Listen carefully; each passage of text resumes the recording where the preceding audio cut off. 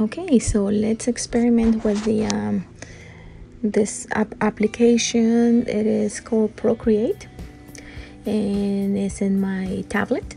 So I'm going to draw this llama freehand and let's start. I'm experimenting with the primary with the brushes right now and overlaying the um, the colors and trying to see what kind of uh, texture they are giving me. I am not familiar with the program, so this will be fun to see how it turns out.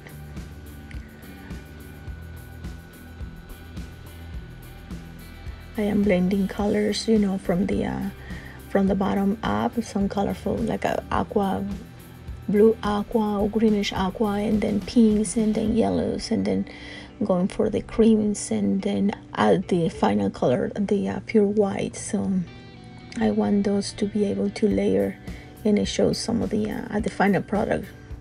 It should show some of the uh, the fur or some volume on the body.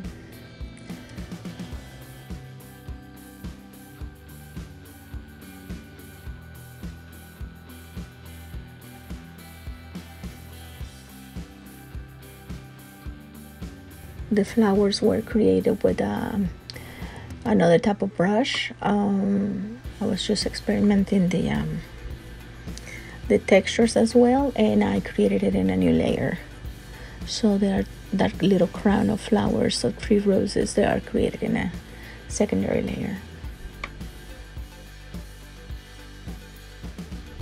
Okay so this is it. This is the final product that little blue eye uh, llama.